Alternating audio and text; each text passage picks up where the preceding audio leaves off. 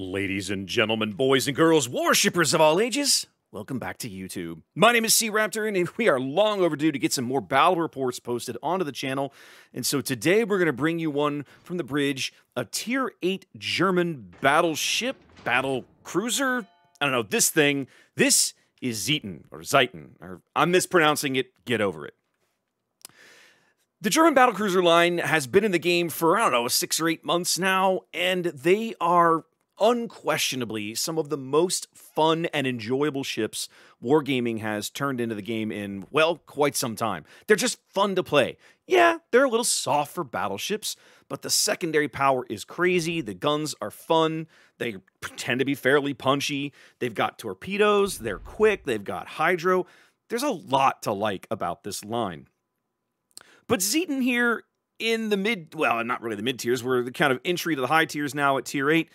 Zieten is Zieten is the ugly duckling of this line, kids. Like this is not even up for debate. This is unquestionably the, if not one of the ugliest ships in World of Warships. And I don't use that term lightly because, I mean, gosh, there are just a tremendous amount of stunningly gorgeous ships in this game, right? The art department at St. Petersburg has just crushed it time and time and time again. Modeling ships in this game, they look gorgeous. Like anything designed by the Italians looks like an Armani suit, right? They're just, oh, battleships by Armani. But something about Zieten, this ship just looks horrible. It's like somebody took a Nuremberg and smashed a Graf Spee superstructure on it with Gneisenau turrets, sort of, and then like the hull is even a weird shape at the bow. Like it is just this whole ship is just bizarre. With that said, though, from a combat functionality perspective, combat effectiveness, Zieten is, in my opinion, where the line really starts to come together. It is one of the best ships you could be playing in ranked scenarios right now, tier 8, tier 9, um, just because of all the package it brings together. This game is about several this game is several months old, but it's still an old Silver League game where I was playing tier 8 and tier 9, and so we're going to showcase it here on the channel because if you're not playing either either Zieten or her tier 9 cousin Prinz Rupprecht in ranked in Silver League battles, honestly, you're missing out. This is some of the most fun you can have playing this game right now in my opinion. Spawning here to the south side of Sleeping Giant on ranked. This is always bound to be a lot of fun. We've seen we've seen how crazy this map plays in competitive modes, right? In King of the Sea and whatnot. So here we are. I initially think, start out thinking I'm going to go over here to the uh, the eastern flank but very quickly decide that's not really useful.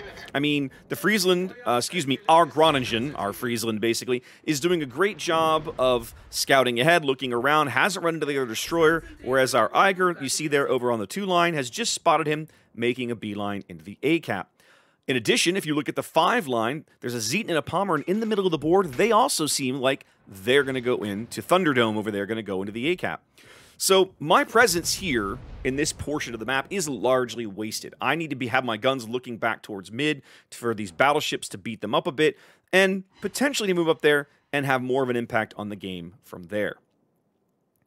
These guys are making, honestly, the opposing team is doing something that I consider to be quite smart, and that is making a play for the A-cap heavy in this map format is a really good one, especially with a Zieten and a Pommern, right? Torpedo battleships with Hydro. If they can get into that cap, you know, getting them out, rooting them out of there will be very, very, very challenging, to say the least. So they're making a smart play, and we've got to try and deny it. I'm going to cut back here towards mid to get my guns to the center. But one of the things that you're going to notice about Zieten, right? She's got, what, 18 kilometers of range on the main battery. Only six barrels on a 22-second reload, which is really sexy, by the way. But typically the guns, like, they're not always as accurate as you could wish. You'll fire six shells, you'll land two to three over the course of a game, that adds up because you're firing them every 22 seconds. But individual salvos will very commonly feel a little on the weak side compared to what you would wish for out of a traditional battleship. They now have a Zieten, and their Friesland is in the cap. I'm going to take this salvo the Friesland, hoping to finish him off. Our Eiger is charging into that cap from the three line, going in on a 3v1. We really need to get this Friesland off the board. They do. That's a big kill. Unfortunately, it's about all that Eiger's going to be able to accomplish before he's going to go out staring two battleships in the face. Pommern does make it in, but he's going to ground himself on the corpse of the his teammate right in front of him, the Friesland. His sinking hull right there just stops the ship dead. That's going to give me the opportunity to push up right up here in the middle of the board and get my secondaries into range. The opposing team has two Alaskas, and this is something that you're going to start to notice when you play these German battle cruisers, right?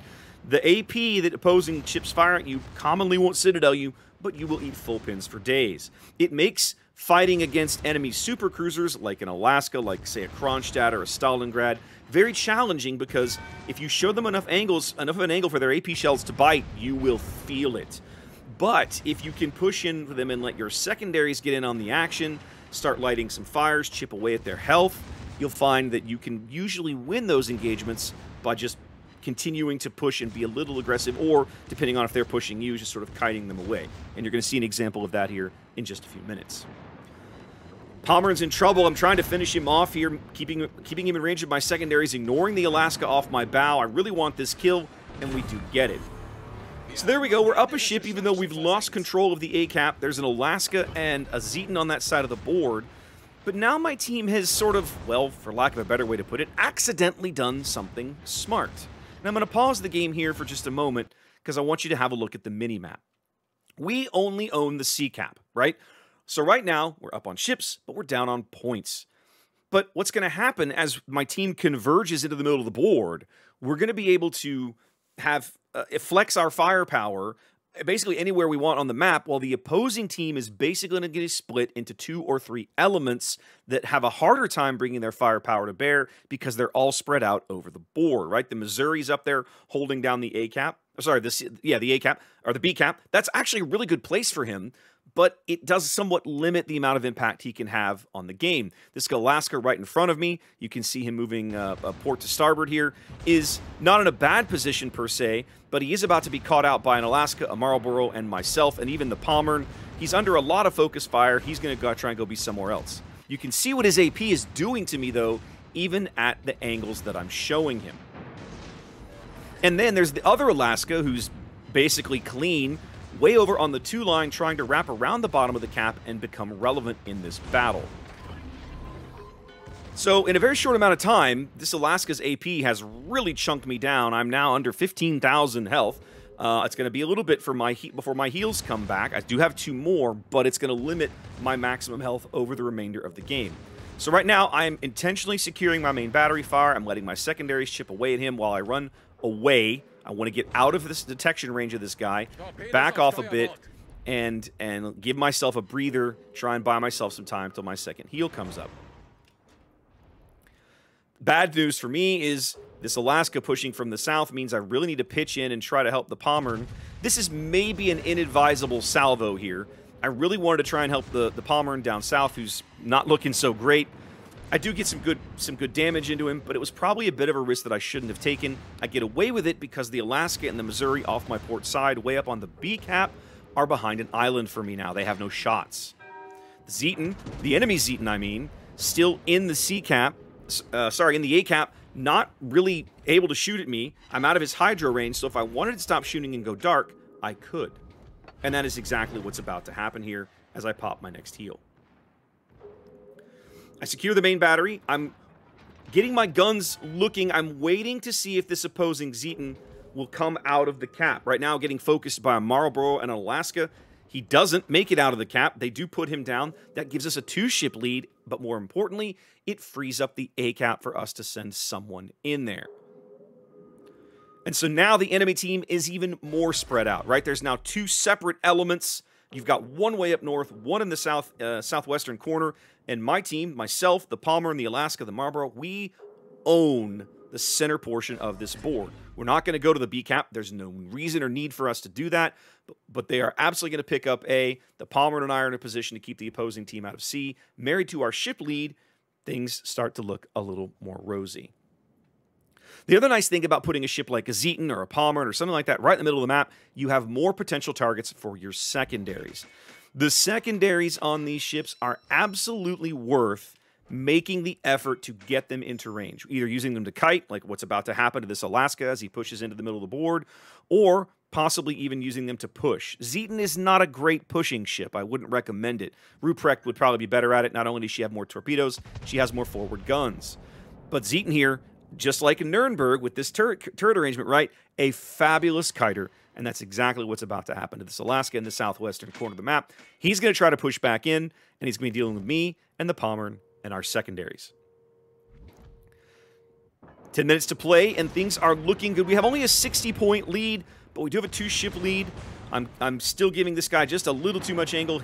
These Alaska players on the opposing team know what they're about. They're firing mostly AP. That American 12 inch super heavy AP is really, really good. So, yeah, I mean, they're making the right decision on just managing to show him an angle or dodge shells at just the right time to keep my health pool still, still available and alive in this game. The torpedo salvo is speculative. I have no idea where he's going to be, but they aren't going to do me any good if I leave him in the tubes. They've got like a 12 kilometer range. Let's throw him out there and see what happens. And now between me and the Pommern and this charging Alaska is in a bit of a pickle, right? We've shaved off a good 10, 15,000 of his health.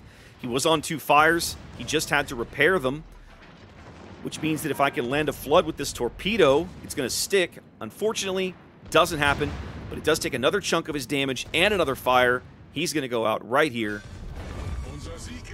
for a high caliber and kill number two. At this point, my team has also cleaned up the Missouri. So yeah, game's pretty much over. The last surviving Alaska is not going to be able to to handle this, handle handle the win. Right? He might bag a kill, might get some more damage, but in the end, he's not going to be able to salvage this game for his team. These German battle cruisers, despite the fact that they take such heinously huge full pin salvos when opponents shoot AP at you, they can they can take a surprising amount of damage, a surprising amount of punishment, as long as you're able to like manage the, the the range of an engagement, and also occasionally, as you saw me here do in the middle of the map, manage the stealth a little bit. They're really, really good ships in these 6v6 formats, right? I can't recommend them enough. If you're playing through bronze, I'm sorry, through bronze or silver or gold league right now, if you're playing ranked at all right now uh, in the summer of 22, and you're working on these ships or you have one of these ships, they are just so so good for for the tier 8 9 ranked because you can just you can get away with shenanigans in these ships that you just can't get away with in a lot of others. My secondary damage total at the end of the game, if memory serves, is one of those eye-opening, wait, what just happened sort of things. Because, you know, this is only a... Uh, in-game, full game duration is only going to be about 12 minutes, I think. Um, and uh, and my secondary damage, we'll look at it here as the screen comes up, is um, basically 40,000, right? So so here we go, guys. You know, that that is just a nice, solid game, I think, that showcases Zieten. I've been wanting to bring this one to the channel for a while, and I've just been a little lazy about it. Um, as you look over the game results, though, what do you notice, right? For starters, um, a nice chunk of damage, three kills, chunk of fires, 173 shell hits. XP wise, solid little game. Marlborough also had a great game. Basically, everybody contributed to this game. This is a nice team win. I ended up with some of these more of these kills, I suppose, but I don't feel like anybody in that team didn't do their job, right? Like that was a nice, solid team win in ranked.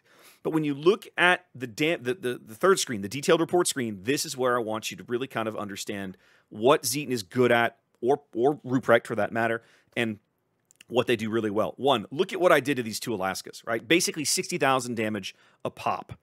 A huge chunk of that damage coming on the back of the 40,000 secondary damage and the 13,000 damage I got out of fires. I think maybe a little bit of that fire damage came on the Pommern, but the bottom line is that both those Alaskas suffered heavily under my uh, secondary secondary batteries, and of course I had the one torpedo hit. Um, but but yeah, like if you invest in secondary builds on these ships, they are so so good. You just have to learn to kind of manage the health pool a bit. And ranked is very forgiving because there's only six other ships that can be shooting at you at any time.